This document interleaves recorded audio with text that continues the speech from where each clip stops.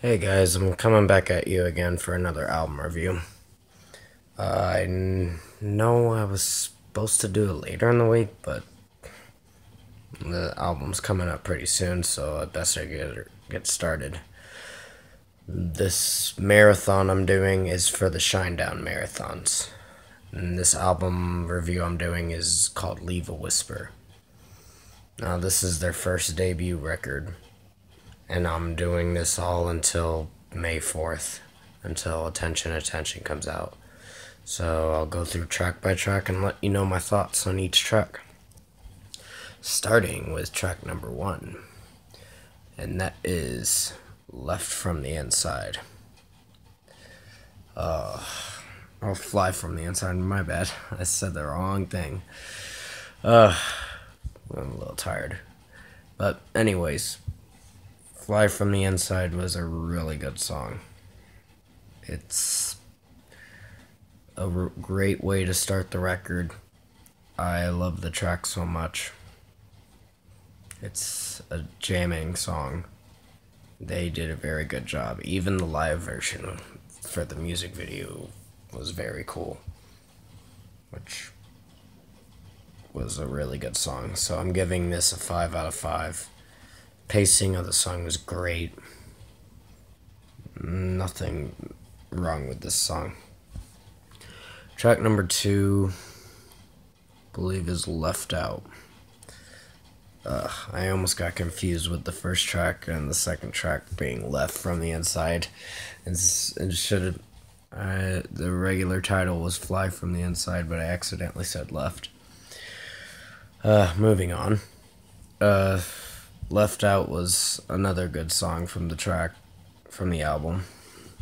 Uh, pretty good drums. Drums were going at it very good in it. And the guitars were doing pretty good. Brent's voice was amazing. So it gets a 5 out of 5. And I do like the melody to it. Track number 3 Lost in the Crowd. This was a little bit of a mellower song, but it was still decent, and I still liked it. It's the melody is what makes the song very good, and the pacing of it was great. The guitars and the drums were a little soft, but it was still good enough to give it a 5 out of 5. So it's deserving of a 5 out of 5. Track number four, No More Love. Now, he kind of killed it in the chorus a lot. Because he just brought a lot of power into his voice in that chorus, and it was just spectacular. And the drums and guitar were just going at it, and it was great. The melody was amazing. This song gets a 5 out of 5. Fuck. Ugh. But yeah, No More Love was a good song. Um, track number five is Better Version. Another good song from the record. It's a can it continues the record going through it. It's the pacing of this album is great. And it's deserving enough to give a 5 out of 5 better version. I do like this song. There are some songs that may feel okay, but yeah, it's a good track. Track number 6, Burning Bright. It's good, it's mellow, and that's what they were going for for this track. I guess this was a single but I'm gonna give it a 4.5 out of 5 because it did interest me, and there are some stuff in there where it felt okay, but it was still an enjoyable track, I guess. But it gets a 4.5 out of 5. In Memory, track number 7. Mm, this song's decent. It's it's good. Uh, the pacing's great. The melody's good. I didn't have too much of a problem with this song, but I'm gonna give it a 4.5 out of 5 because it's decent. It's not like a very good song, but it's decent. Well, it's a good song, it's just not. I didn't see it to be very good, but it's fine.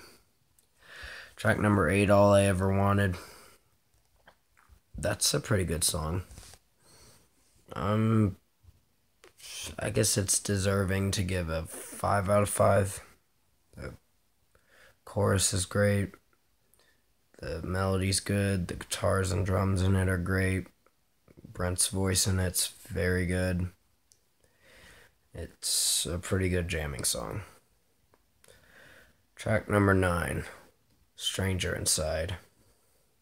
Eh, another okay track, I guess to keep the album going. And it's going pretty good. So Stranger Inside gets a 4.5 out of 5. Melody's decent. The pacing when Brent's throwing his voice in there is okay. And it kind of makes the track fall a little short, but does fine. Track number 10, Lacerated. I actually did like this song a lot. It's very good. Uh, it's a really good song to jam out to. It starts off a little slow, but when it hits the chorus, it just the drums are just going at a really good pace, and it's very catchy and it's an enjoyable track, and I'm giving it a 5 out of 5. Track number 11 Crying Out. This track is very good too. It just starts off very heavy, and then he throws his voice in at the verse. I like the verse, I like the chorus, and the guitars and drums in it, and the melody are great. It gets a 5 out of 5 as well.